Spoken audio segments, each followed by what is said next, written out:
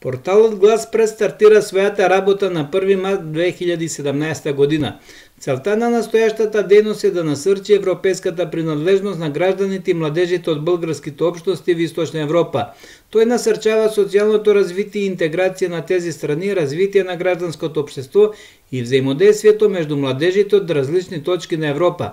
Стремежот на работа на портала вклучува новини не само Србија и Българија, касаещи българското малцинство, но и од българската диаспора од Молдова, Украина и Македонија, което на практика создава една платформа за размяна на опит и сотрудничество меѓу българските општности извън Българија.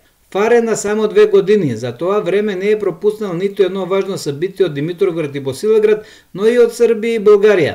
Во времето когато културата не располага с време и пари и когато истинските ценности са поклопени с розовата култура и реалити шоута, тој тези ценности разпознава и им дава достатъчно пространство на својата страница. Отказал е да мълчи за најспорните теми и се е вклучил в борбата за правата на професијата към която принадлежи, с готовност да сътрудничи со всички. Неговата цел е обективна информација с двојазично медијно содржание и означение както за средата кадето живее бугарското малцество, така и за пошироката обштественост.